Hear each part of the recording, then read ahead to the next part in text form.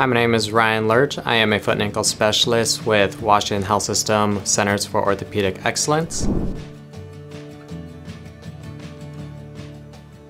Some of the symptoms of foot and ankle arthritis is any dull ache, could be sharping pain coming in and out of a joint, could be swelling, could be a little bit of inflammation or any sort of symptoms that don't seem quite right.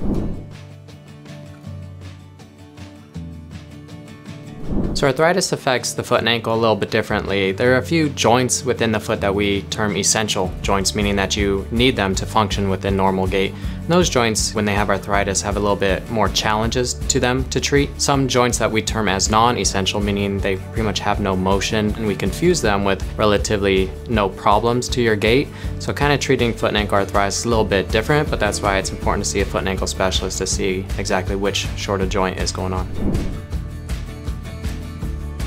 Treatment for a foot and ankle arthritis is typically either fusion, arthroscopy, or replacement.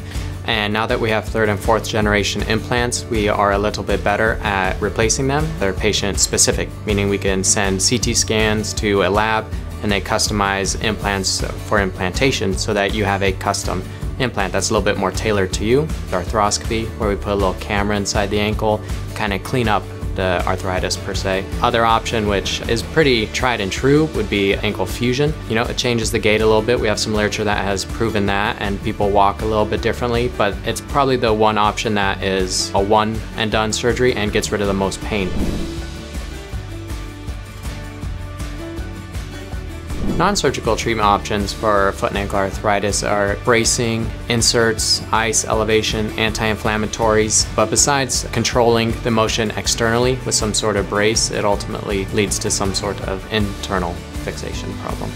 If you think you or your family members are suffering for foot and ankle arthritis or want to come in for evaluation, I encourage you to look us up at whs.org backslash foot and ankle.